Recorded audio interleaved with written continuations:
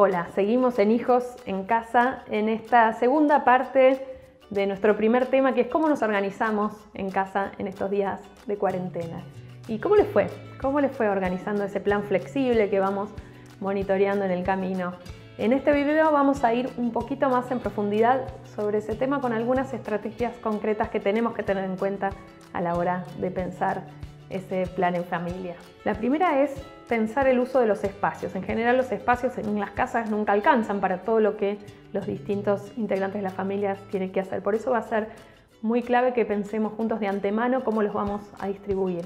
Quienes necesitan algún espacio de más tranquilidad, por ejemplo, para hacer las tareas de la escuela o para trabajar, cómo podemos hacer para compartir los recursos, sobre todo los dispositivos digitales que nunca terminan de ser suficientes y entonces ver quiénes los necesitan más prioritariamente. Lo segundo para tener en cuenta es cómo organizamos las tareas de la casa y también el cuidado de otros integrantes de la familia, sobre todo si tenemos gente mayor que necesita ayuda o niños pequeños.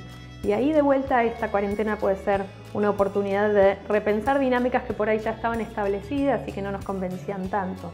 Y ahí será importante poder establecer cuáles son las distintas tareas de cuidado que necesitamos hacer y, pensar cómo las vamos a distribuir, quiénes se van a hacer cargo de qué. Algunas familias le dieron una, una impronta más lúdica, más de juego a esto, por ejemplo, sorteando las tareas del hogar cada día, o también cada uno puede elegir aquella parte que le gusta más hacer. Y también dentro de lo que tenemos que pensar como cronograma de la vida en casa, es muy importante que que encontremos algunos, aunque sea pequeños momentos en los que estemos todos juntos, de estar en familia, puede ser una cena, puede ser el desayuno, puede ser un rato en el que nos podamos mirar a los ojos y conversar sobre cómo vamos, qué dificultades está teniendo cada uno, tratar de ver si hay algo que podemos hacer mejor o cambiar de aquí en adelante para que todos podamos estar bien. Y en eso también entra poder destinar algunos espacios, momentos del día a poder estar en soledad, sobre todo nosotros los adultos, por ahí pequeños momentos donde,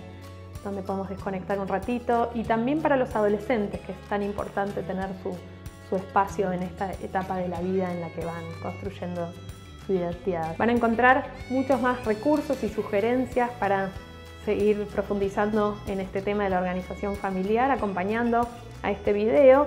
Y la semana que viene vamos a hablar de un tema fundamental para estas semanas de aislamiento, que es cómo ayudamos a nuestros hijos y nuestras hijas de distintas edades con las tareas que envía la escuela. Nos vemos.